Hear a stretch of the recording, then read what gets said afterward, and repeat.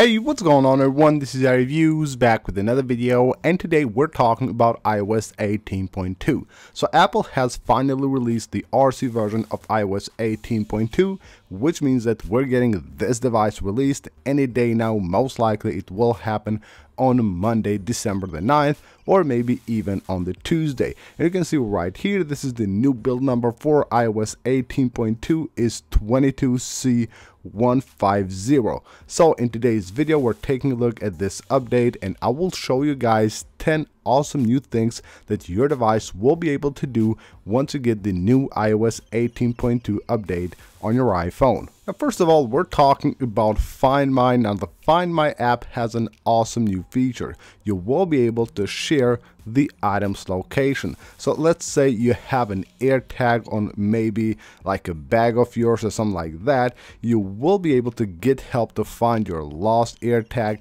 by sharing its location maybe with an airline or a trusted person. So right here you can see this is the new splash screen that you will get once you install iOS 18.2 and you open the Find My app, letting you know about this new feature that allows you to actually share the item location for a limited time.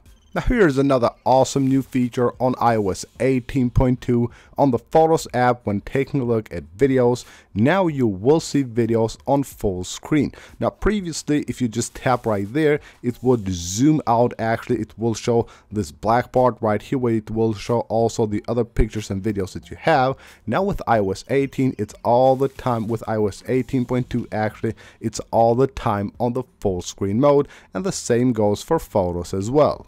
With iOS 18.2, now you will be able to limit the amount of volume that comes out of the speakers of your iPhone. And that will be actually very easy to do if you want to limit the volume of your device. All you have to do with iOS 18.2 is head on to your settings, go under sounds and haptics, and right here you will be able to limit this sound of your iPhone. So you will have this section right here that says built-in speaker, volume limit, you go here, and of course with this disabled your volume will be at 100%. Once you enable this automatically it will be cut down to 90% and then you will have this volume slider right here that allows you to adjust the volume limit for your speakers. And as you can see right here, you can go with the minimum which is 20% and then of course you will have all the other like 10% increments right here up to 90%. So anytime you want to limit the amount of volume of your speakers, you can do that from here.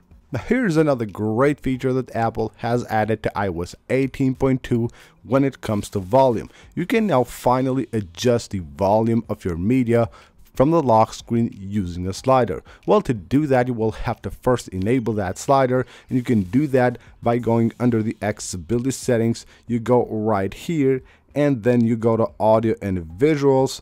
Let's just find that right here so that we have audio and visuals. And then you will have here the ability to actually enable this feature. You will have here something called always show volume control.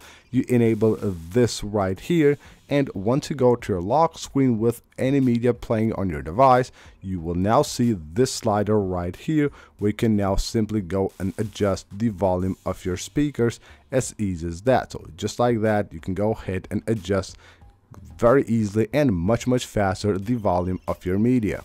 Now one thing that will actually make your life way easier with iOS 18.2 is the way Apple has changed the way you manage your default apps. Now everything will be in one place. All you have to do is under settings just head on to the apps section and then you will have default apps. You go right there and you have all the default apps you can manage right here. Your mail apps, messaging, calling, call filtering, browsers, passwords, contactless apps and also keyboards. So if I just want to change let's say my messaging apps I can go here and pick from the list of the messaging apps that I have on my device. Now currently as you can see right here even though I have WhatsApp and some other messaging apps like Telegram. It doesn't show them right here, but of course they will show on other things like mail here. We'll have to wait and see if those lists will change. But again, you will have here a few like different options to choose from the apps that you have currently installed and switch to those apps as your default apps. And with iOS 18.2, you probably know that we have the new Mail app. Now the Mail app will be available to all devices, not just the Apple Intelligence devices. All the devices will get this new feature, basically allowing you to categorize your emails. Now, what's really cool is that if you don't like the way Apple has recreated this app, you can switch to the old style simply by tapping the three dots right there. You tap there and then you go to list view and just like that you go back to the old mail app. I would really like if Apple would have done the same thing with the Photos app. I know a lot of users are not satisfied with the new design of the Photos app and having the ability to go back to the old design would be a great option.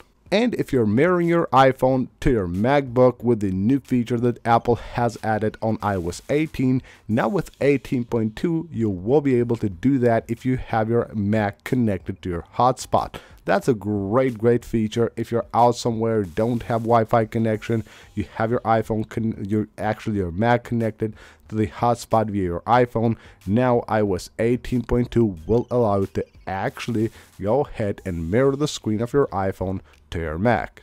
And one of the coolest new features is the ability to create your own emoji.